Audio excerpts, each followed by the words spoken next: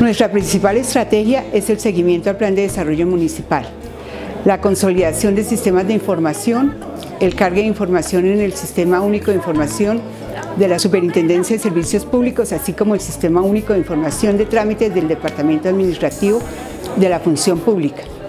De igual manera, se fortaleció un plan del Banco de Proyectos Municipal que garantiza la gestión de recursos para la ejecución y cumplimiento de las metas del Plan de Desarrollo Municipal.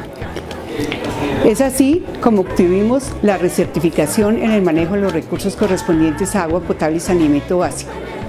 Como resultado de lo anterior, el Departamento Nacional de Planeación nos considera, como, nos considera dentro del índice de desempeño integral como el cuarto mejor municipio a nivel Cundinamarca y el decimosegundo mejor municipio a nivel nacional. Es nuestro deber capacitar las diferentes secretarías en el sistema de gestión de calidad para mantener el certificado de calidad ISO 9001-2008.